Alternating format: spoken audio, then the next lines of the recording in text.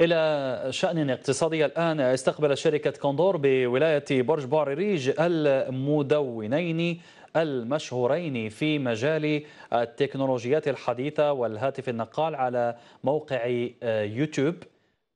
و اللذان عبر عن دهشتهما الكبيرة مما شاهده في وحدات الإنتاجية لعلامة كوندور بالمنطقة الصناعية في برج باجي مختار أو في أقول برج بوعريش نعم كما عبر عن اهتمامهما الكبير بهذه العلامة التي دخلت واجتاحت حتى الأسواق الأوروبية وتحضيرهما لإطلاق فيديوهات تعرف بالجزائر.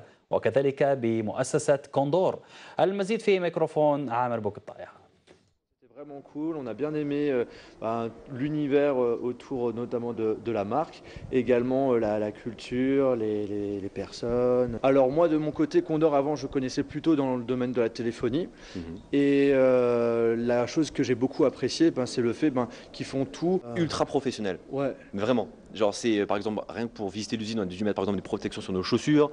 On a dû euh, avoir une visite bien guidée, tout est hyper posé, tout est hyper clean, enfin c'est ultra... Euh, mais c'est toujours intéressant Donc de voir euh... l'évolution d'une marque et l'arrivée d'une marque dans un nouveau pays. Et comme la France est notre pays, bah, du coup on découvre une nouvelle marque qui va arriver, on a vu tout l'envers du décor, le processus de création, du coup c'est hyper cool quoi.